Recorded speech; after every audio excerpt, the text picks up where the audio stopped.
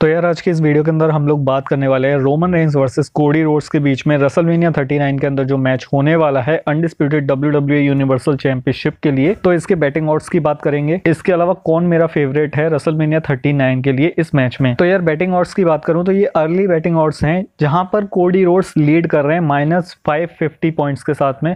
वहीं Roman Reigns के plus three हैं। अब यार बैटिंग ऑर्ड्स के हिसाब से तो Cody Rhodes undisputed W universal champion बन रहे हैं रसलवेनिया थर्टी नाइन के अंदर। बट मुझे ऐसा लगता है या फिर मैं कहूँ, मैं पूरी तरीके से श्योर हूँ कि रसलमेनिया 39 के बाद भी रोमन रेंज चैंपियन बने रहेंगे। इनफैक्ट जब तक रॉक का रिटर्न नहीं हो जाता है तब तक रोमन रेंस को W W at least universal champion तो बनाए रखेगी। हाँ इस बीच डब्ल्यू डब्ल्यू कोई ना कोई तरीका निकाल लेगी रोमन रेंस से डब्ल्यू डब्ल्यू चैंपियनशिप लेने का। But universal championship Roman Reigns के ही पास रहने वाली है। हाँ यार रॉक का रिटर्न अभी पॉसिबल नहीं है, मुश्किल लग रहा है बट एक बार अगर रॉक का रिटर्न हो गया तो डब्ल्यू डब्ल्यू को किसी स्टोरी लाइन की ज़रूरत नहीं है Roman Reigns versus the Rock का मैच करवाने के लिए। तो बस यार, वीडियो को यही खत्म करते हैं। डब्ल्यू डब्ल्यू की इन्फॉर्मेटिव वीडियोस के लिए चैनल को सब्सक्राइब और वीडियो को लाइक ज़रूर कर देना।